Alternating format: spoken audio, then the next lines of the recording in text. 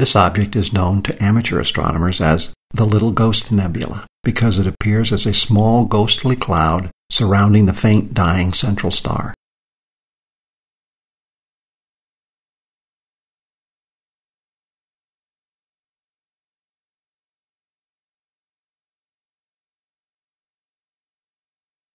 This nebula's chaotic structure suggests that the star shed its mass sporadically. During each outburst, the star expelled material in a different direction.